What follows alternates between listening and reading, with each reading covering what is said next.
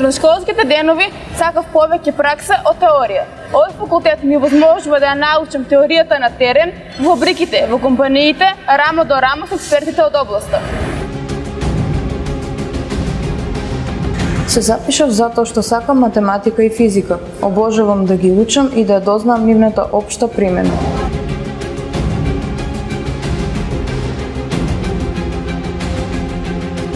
Се запишав на електротехнички факултет затоа што длабоко сум убедена дека ова е индустријата на иднината. Сметам дека неплатените професии во иднина ќе бидат поврзани на еден или на друг начин со електротехниката. Љубовта кон електротехниката ја имам одамна.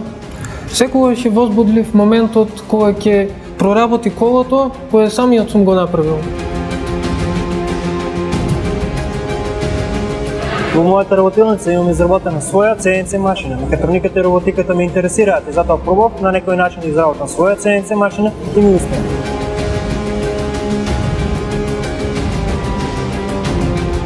Pozdrav Etofon, Bere TV.